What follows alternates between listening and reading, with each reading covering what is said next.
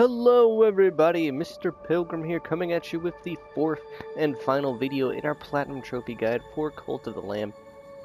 In the last video we'd gone through and defeated Kallamar, the third boss in the game, and now are able to access the fourth area, and then like always we're going to go into details about what all you need to be doing and things like that. Now do note, you can get to the final point right before you fight the fourth boss and then just head back to camp, rinse, repeat, or go to the other areas for resources and things like that. You want to make sure that you're doing all of your side objectives that you can.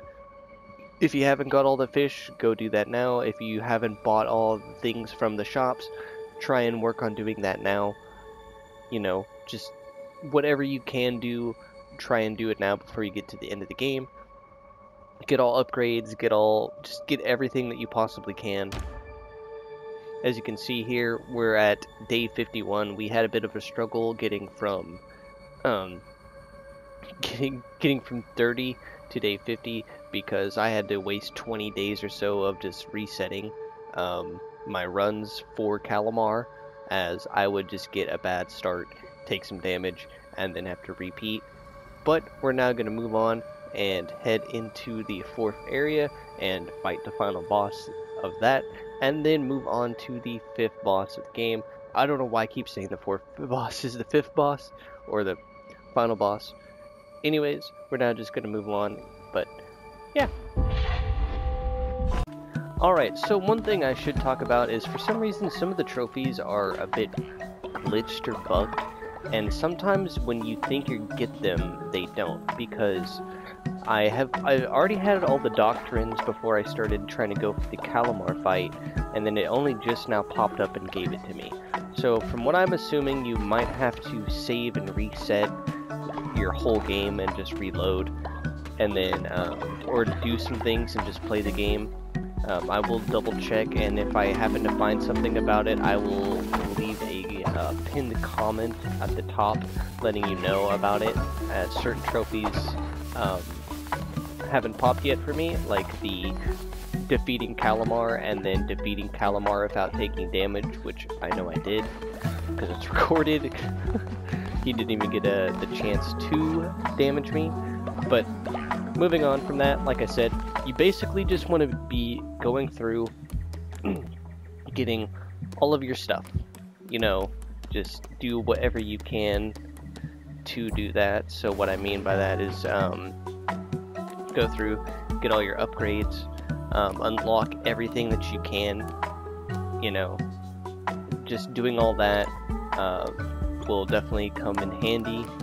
Um, me being the completionist that I am on certain games like this, uh, I want to get everything because I'm just wanting to play it safe, you know. So if you can, go to all the areas, like I said, um, all the shops and things like that, buy everything, uh, watch an old person die, of course, apparently.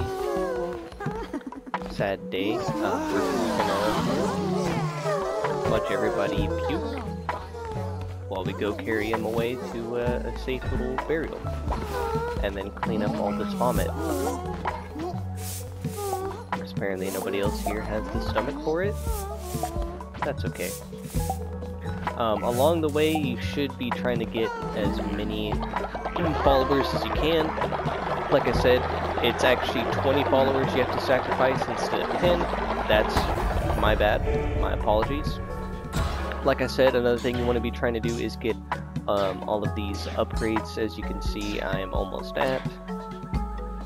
Gonna try and get the last refinery to upgrade even further. You know, all the good stuff.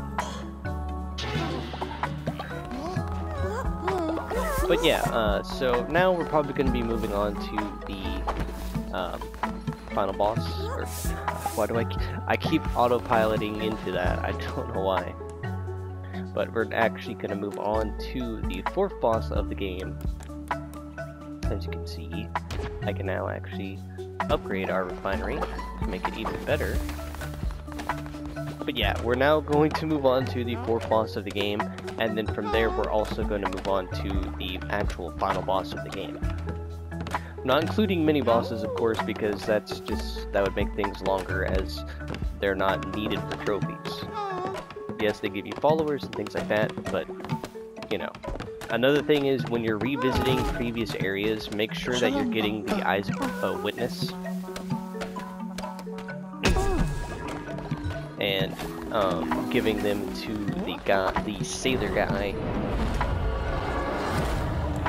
here in Smuggler Sanctuary. So do remember that. So from here we can now head to uh, the fifth and final area and possibly unlock the last area that we'll need to unlock in the game. And that will also get us another trophy, which I will probably mention when it does happen. And we will probably also find the last person to play Knucklebones with. So yeah. Alright, so one thing I will mention to look out for on your runs is going to be the heart room. It'll look exactly like this. Now this is probably the one room that you might end up missing as it does contain a tarot card that you have to get and it is going to cost you 100 coins. Now this is the last one that I have to get as I'll show you.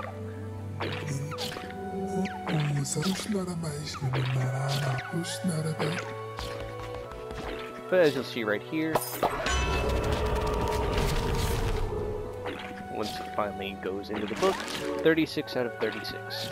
This is the only one that you can, I think, obtain along your runs. The other ones are going to be obtained from doing certain things such as um, marrying your first follower, um, doing the side objectives, things like that, um, buying all the cards from all the shops, just stuff like that will get you the cards. Um, I will leave a link to the wiki on this video, so if you are wanting to double check and make sure you've gotten the car that you need from where it is, I got you covered. But now we're going to be moving on to anything else of importance. So yeah. Alright, and up next is the fourth boss, Shamura. Like always, he's going to turn into a big boss related to the area, and that is spiders. He likes to summon a bunch of minions and can have some quick landing blows.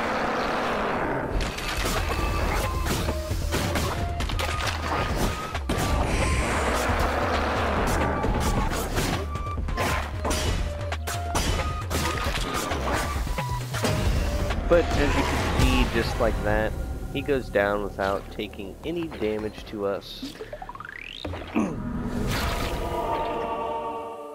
he didn't even get to summon any minions, which is quite surprising. Now one thing I will state and talk about though is the fact that um, there are a bunch of issues and bugs with um, Cult Of the Lamb, and that there are a lot of trophies that aren't popping for people as they're getting bugged. As um, if you're playing through the game, for some reason certain aspects of the game can just get glitched, and then you have to basically either downpatch your game or have to start a whole brand new save just to get the trophy to pop, which is really annoying and frustrating but I figured I'd mention it. I will also leave it as a pinned comment in case you don't watch all the way through to this point of the video. So, yeah, it is, it's really annoying. Now, I will go over how you can actually refight the bosses in case the trophy does pop for you, but you happen to take damage. You will revisit the area. I'm gonna skip this just for a moment. So anyways, if you want to refight any of the main bosses, if you've been destroying the statues that you can steal um, devotion from, then you can easily uh, destroy it again once you are revisiting the area, and it will open up a red portal that will take you back to the boss fight. So if you want to do that, that's how you can easily refight reface any of the bosses and uh, get the trophies for not taking any damage if you do happen to get the trophy for just fighting the boss if your game isn't glitched. Sadly mine is, as I almost have everything in the game and I've done almost everything in the game and it's still not popping. So yeah. But now we can move on to the final boss of the game. Alright, so one thing I also forgot to mention and to be on the lookout for when you're on your crusade, similar to the heart card, is you want to find the shop that is selling food, and this will lead us to a mini boss which will unlock one of the follower forms that you'll have to get. As you'll see here, it should look like this. Basically, all you're going to want to do is just be incredibly rude and cause rack shop rack I'm not even you know what? I'm not even gonna try it. Eventually you're gonna make him mad and then he'll want to fight you.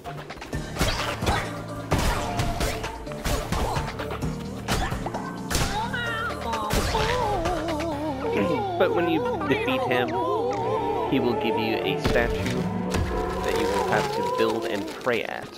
So basically what you do is if you pray to it at night, it will then give you the big monster um, follower headpiece. So once you do that, you can then finally um, get your last one, and then I will go over the snail-specific ones as well. So when you're going through the second area, Anura, there are going to be five snail shells that you'll have to um, get and defeat so don't forget to do that. You, can, you only need five snails, or five shells specifically. But from there, I'm going to show you where to go with those five shells, so you can get the snail follower headpiece. So yeah.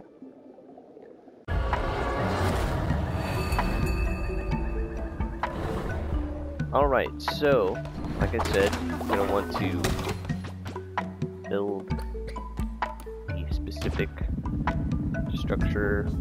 We'll just do it over here right next to this. Right next to our mushroom structure as well. And since it is pretty close to nighttime, I'm actually going to skip to when we can do that. Alright, now as you can see, we can finally pray at the statue. And in doing so, this is how you get the follower form for the big monster. So now we can move on to the snails. So once you have your five snail shells from running through the Anura area, you just have to go to all five of the unique areas outside of the Crusades, and that will allow you to use a snail shell at five specific statues. So the first one we can find at the Lonely Shack. If you come all the way over here, right behind this, you can find the statue here. Then we can go down to Smuggler Sanctuary. Along with the snail one, you'll also have to feed um, your followers poop so you have to make anywhere from 18 to 20 different poop bowls. The second statue is right here. But that will probably be the last three follower forms that you might need to look up and figure out how to do. Next up is Pilgrim's Passage. But these were the last three that I had to do, is uh, the big monster, the snail, and the poop. So in Pilgrim's Passage, passage.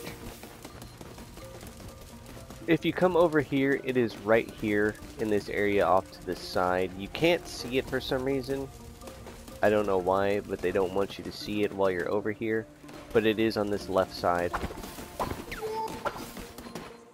so now we can move on to Midas's cave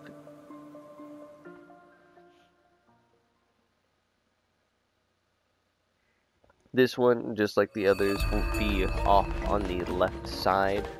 As you'll see right here, it's just chilling. Pretty straightforward.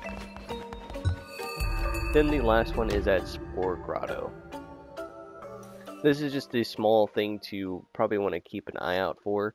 Um, this is probably on me for not checking this sooner, so I do apologize for that. But once you're in Spore Grotto, you basically want to come inside and come here over to the left.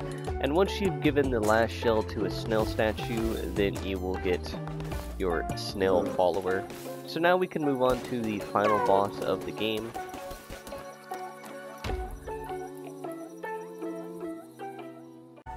Alright, so now once you are fully ready and prepared, done everything that you want to do and all of that good jazz, you can finally come and take on the final boss of the game, the one who waits, or as his name is, Narinder.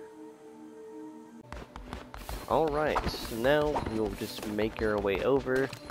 You will need at least 20 followers to do this ritual, so if you haven't already got the trophy for it, or your game is glitched, then you'll have to do it on a, another save file, or downgrade your game.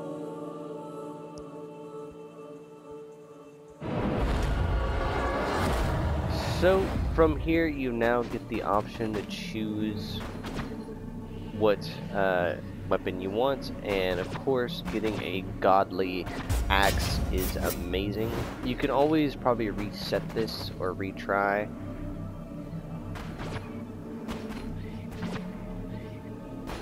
We'll go for the damage. but you will have to face his two minions first before you can fight him, so do keep that in mind.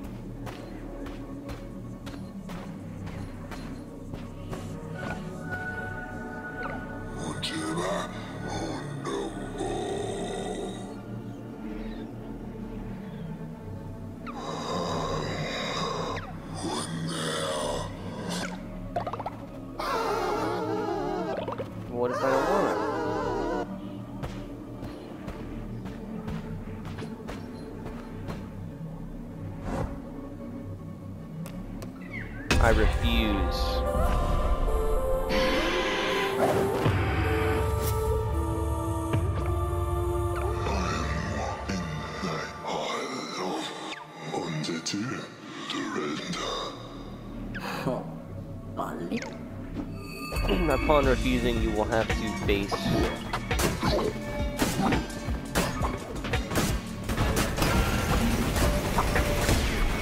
his champion. Now, the reason why I'm not going for this without taking any damage is because my save is glitched and I won't even get the trophy for beating them.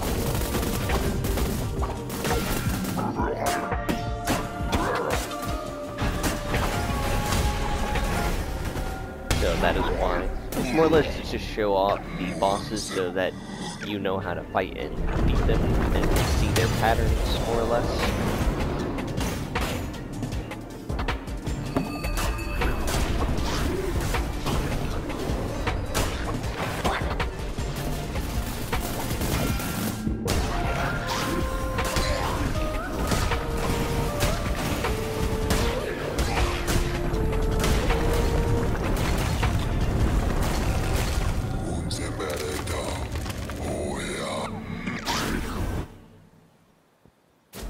Course we're not done. Are we ever done with final bosses? No, they always have to have multiple phases, of course.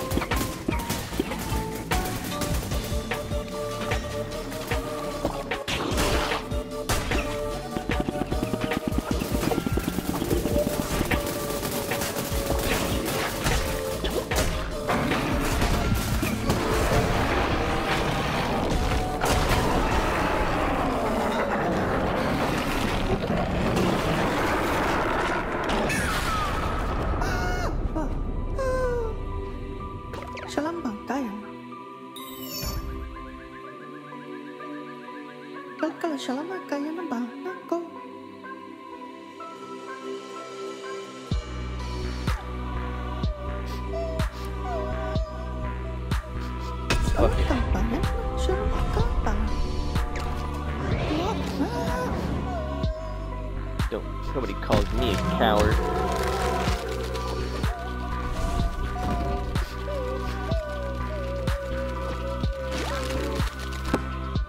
But once you have done that,